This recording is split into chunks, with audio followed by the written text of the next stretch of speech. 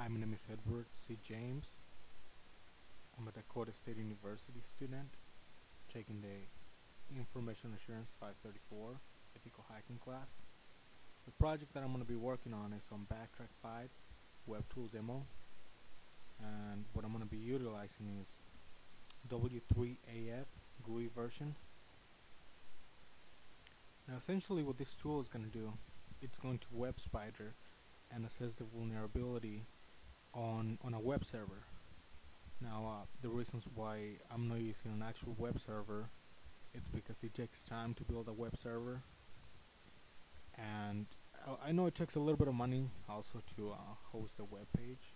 It's not a whole lot actually but uh, my biggest worry was that um, I don't know how my ISP will take it if I if I run this kind of utilities. I don't even know if they can if they trace it or they'll be interested in tracing it but uh, if they do uh, that could mean that um, I could lose my um, my services with them and I definitely don't want to do that.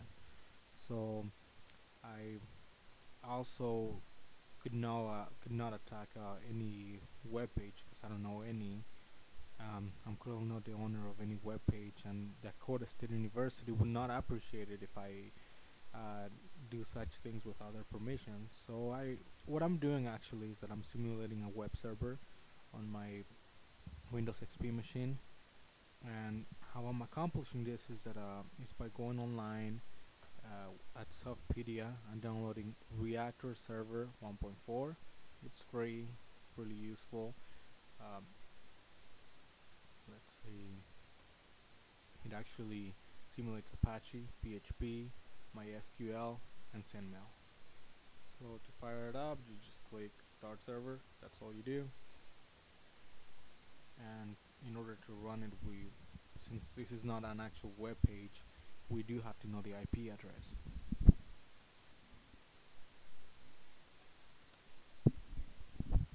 So what we do on Backtrack, in the application that we're gonna utilize to uh, do the vulnerability assessment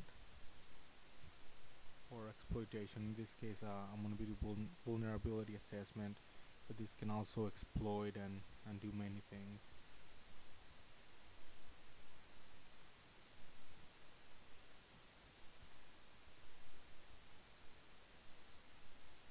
So it's opening up now.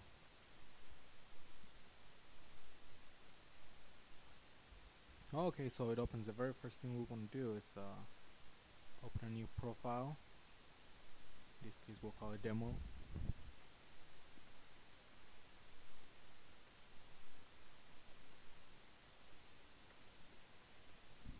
We'll describe it as web demo tool and click new this creates a new profile and we're going to define the extent of the scan. So it's on the discovery part like I said earlier we're going to web spider it. So have to look for web spider just right over here there it is like that. And it even gives you a description right here. And under audit you can do many things with it. You can uh, do file file upload um, you can check and see if it's um, vulnerable to file uploads. MXL injection phishing vectors in this case I'm, uh, what I'm gonna do is I'm gonna see if it's vulnerable to cross-site scripting. So I check this one right here just for cross-site uh, re request forgeries.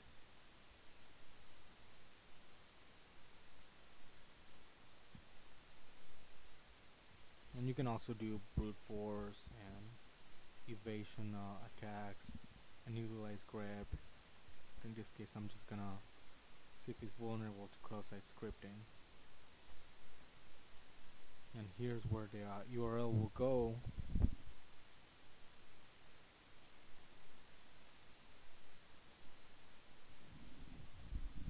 We could we could use dsu.edu but of course you know I don't have permission to uh, to do anything like that. So I am actually gonna pass on that and run the attack against my local machine which normally what we would do in this case is like since we don't know um, we're not gonna know what if it's a if our target is Windows, Unix, or and or the tar or the or the framework they're running. So nmap it's a really good utility uh, to find this information out.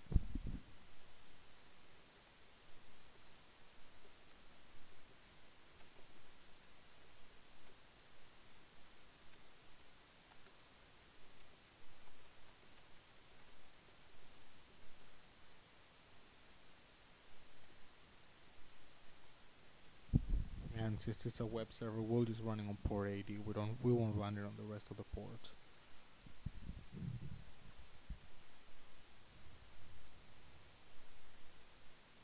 And of course the result then tells us that uh, port 80 it's indeed open and we're running Apache on a Windows machine and we're also running OpenSSL with a PHP so it appears that we're running several services so we'll use Windows and leave this as unknown so it can run all the vulnerabilities that um, that that the uh, it potentially could have on the framework not just uh, PHP we save the configuration close it and after that we just simply fire it up.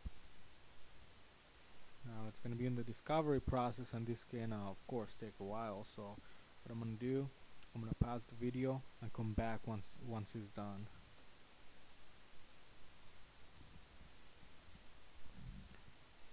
Okay I'm back. And it has done all the scanning on the web spidering tool. And also we can see that it's uh it has found the vulnerabilities right over here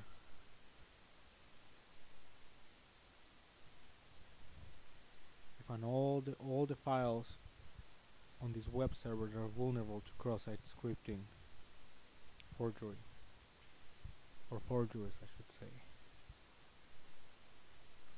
And now we see the we can even see it on the results. It'll be right here. All the files that are vulnerable to cross-site scripting so from here we can uh, we can um, basically manipulate uh, the plan for exploitation. And this was W3AF finding a cross-site scripting vulnerability